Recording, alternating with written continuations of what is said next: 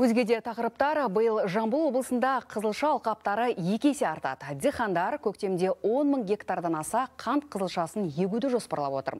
Жалпы биыл өңірдің ауыл шаруашылығы саласын қолдауға 100 миллиард теңгеден астам қаржы бөлінді. Бұл қаражат дәнді дақыл алқаптарын кеңейтуге, субсидияға және халықтың табысын арттыру пилоттық жобасын іске асыруға жұмсалмақ. Сәкен Әбітаев былтыр 15 гектар жерге қант қызылшасын еккен. Шаруа биыл мемлекеттік қолдаудың аясында егістік алқабын 60 гектарға дейін ұлғайтты.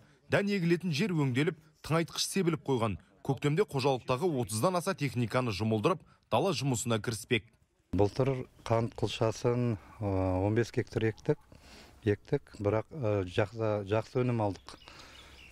Енді ала қаласа көбейтсек па деп отырмыз биыл сол 60 гектарға шейін. Может одан да көбірек егеміз енді көктемде?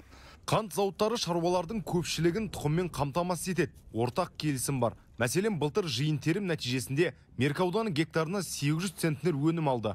Бұл жоғары көрсеткіш. Биылда шығым мол болады дейді мамандар. Ағымдағы жылы ауа райының қолайлылығына байланысты биыл шаруалар бұл істің жоғары екенін өнімділігін жоғары екенін көріп отырып бүгінгі күнге егіс алқаптары дайын. Қазір енді ауа райының жылып мына топырақтың қызған уақытын күтіп отыр. Қант қызылшасына бөлінген субсидияның көлемі артып шаруаларға үлкен қолдау болды. Енді сатып алынатын тыңайтқыштың елу пайызын мемлекет өтейді. Ал өнім тасымалына қант зауыты тағы 15 теңге төлейді. Сол себепті диқандар да қант қызылшасын егуге қызығушылық танытып отыр.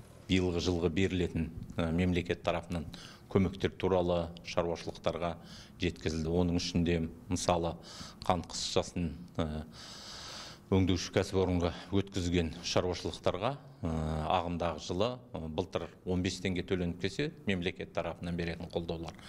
Мынау 2023 жылы бұны 25 теңгеге дейін арттыру көзделіп отыр. Жалпы өңірде 770 мың гектар дәнді дақыл егу жоспарланған. Оның ішінде көкөніс картоп пен қант қызылшасына басымдық берілген. Нұрдос болатұлы ғани айдарқұлов қазақстан ұлттық телеарнасы жамбыл облысынан.